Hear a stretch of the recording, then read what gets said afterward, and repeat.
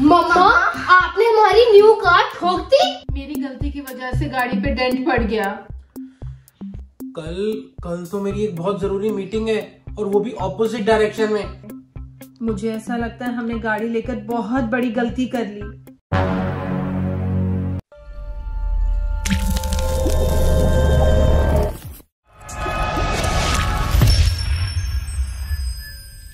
गाड़ी ठुक गई। क्या? तुमने गाड़ी ठोक दी। रमनीत एक छोटा सा स्क्रैच ही है और कुछ नहीं है। छोटा सा स्क्रैच है कितना बड़ा स्क्रैच है? मैं अभी देख कर आता हूँ।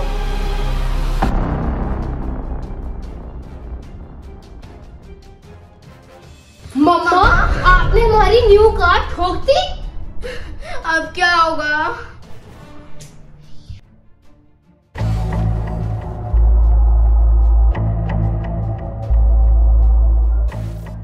Later.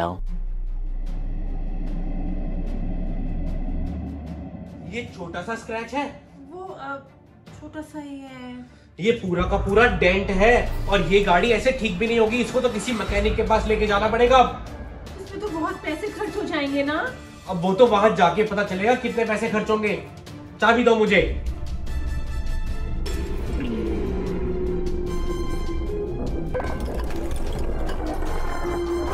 Later.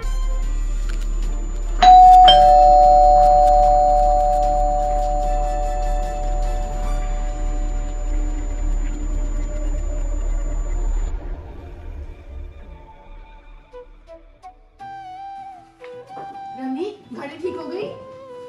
अरे कहाँ ठीक हो गई? कोई मज़ाक हो रहा है क्या? ऐसे गाड़ी ठीक होती है टाइम लगता है। अब क्या? क्या करना क्या नेक्स्ट करना क्या है? उसने बोला है गाड़ी में बहुत खर्चा आएगा। खर्चा कितना? दस हज़ार रुपए। दस हज़ार रुपए? हम दस हज़ार रुपए अब कहाँ से लाएँगे? अब कहाँ से क्या लाएँगे? अब अब गाड़ी खरीदी है तो उसे खर्चा तो उठाना पड़ेगा ना मुझे तो कुछ समझ में नहीं आ रहा। आई एम सॉरी रमनी मेरी गलती की वजह से गाड़ी पे डेंट पड़ गया।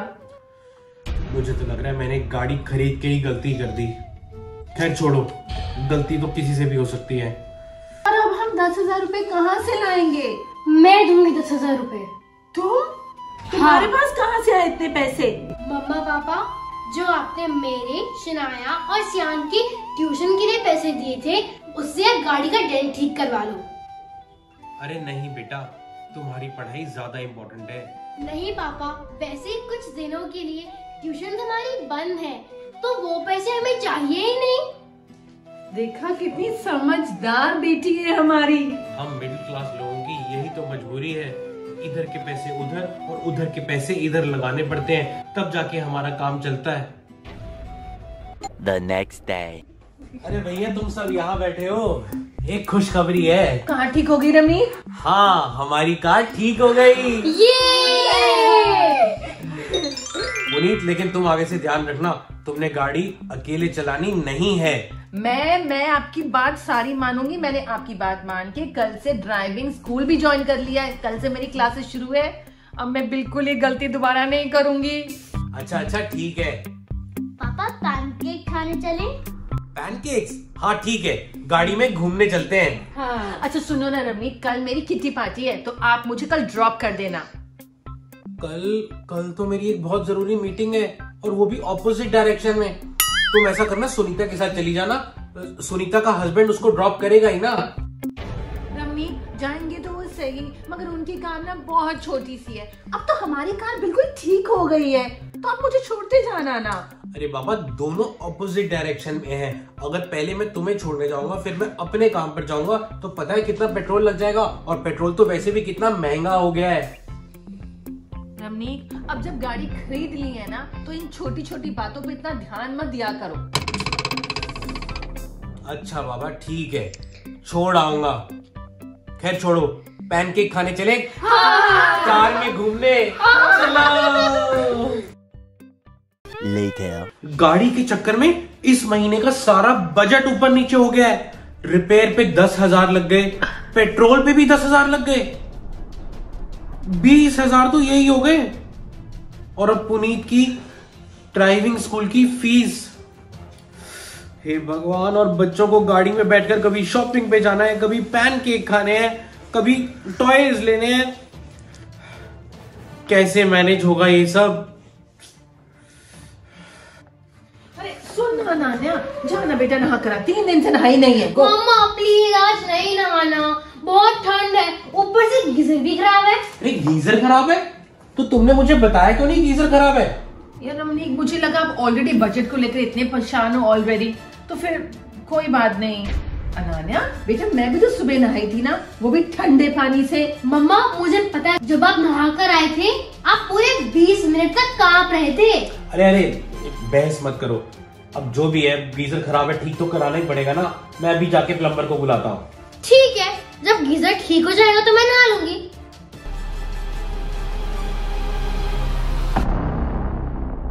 Later. चला क्या प्लम्बर? हाथ चला गया। क्या कहता है? कह रहे गीजर पूरी तरह से खराब हो चुका है और अब ये रिपेयर नहीं होगा इसको नया ही लेना पड़ेगा और नया गीजर कम से कम आठ से दस हज़ार रूपए का आएगा। हे भगवान फिर नया खर्चा? एक खर्चा खत्म नहीं होता और दूसरा खर्चा सिर पे खड़ा हो जाता है। मुझे तो कुछ समझ में नहीं आ रहा। कहाँ से आएँगे अब ये पैसे? हे भगवान। ये कौन है? Hello? Okay. Okay ma'am okay. कौन था बच्चों की ट्यूशन टीचर। क्या कह रही थी? अभी तक क्लासेस बंद है मगर नेक्स्ट वीक से क्लासेस मैं शुरू कर रही हूँ। तो बच्चों को फ़ीस के साथ अगले हफ़्ते से भेज देना। बच्चों की स्कूल की ट्यूशन फ़ीस जो हमने अलग रखी हुई थी उससे तो हमने गाड़ी रिपेयर करवा ली। हाँ। रमनीक मेरी तो सारी सेविंग्स भी खत्म हो गई है इस गाड़ी को लेने के चक्कर में। मुझे ऐसा लगता है हमने गाड़ी लेकर बहुत बड़ी गलती कर ली। जब से ये गाड़ी ली है तब से हम परेशान ही परेशान हैं। तुम ठीक कह रही हो पुनीत। जब से हमने ये गाड़ी ली है हमारी टेंशन बढ़ती जा रही है। हाँ। ऐसा करो रमनीक आप ना ये गाड़ी बेच दो। क्या? अगर अब इस गाड़ी को बेचने जाएँगे ना तो बहुत कम पैसे मिलेंगे। रमनीक जितने भी मिलेंगे उतने ही सही। ये रोज रोज की टेंशन तो खत्म होगी। पर बच्चे उनका क्या? वो तो बहुत उदास हो जाएँगे ना। Later. पापा हम न्यू कार क्यों बेच रहे हैं? मैंने तो अपनी सारी फ्रेंड्स को बता दिया था कि हमने इतनी बड़ी न्यू कार ली है। अब मैं उनको क्या बोलूँगी? अब हम घूमने किस पे जाएँगे? बच्चों हमारी ज़िंदगी जैसे पहले थी वैसी ही हो जाएगी। और कार का क्या है? ये तो कुछ पल की खुशी देती है। और उसके बाद टेंशन ही टेंशन। कभी फ्यूल की टेंशन कभी रिपेयर की टेंशन कभी किसी चीज़ की टेंशन कभी उसी चीज़ पर ऐसी चीज़ हमें रखनी ही क्यों है जिससे हमें इतनी टेंशन मिले? ये भी बात है। हाँ बात तो ठीक है। ठीक है तो फिर आप कार बेच दो। ठीक है? हाँ। तो फिर हम उस गाड़ी के ऊपर राउंड लगाने चले? हाँ ठीक है एक आखिरी राउंड तो लगा सकते हैं ना? हाँ हाँ हाँ हाँ। ठीक है चलो। चलो। Bye bye car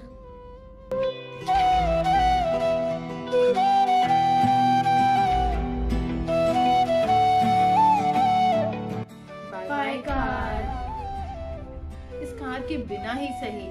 पर अब हम मिडिल क्लास लोग चैन से तो जी पाएँगे।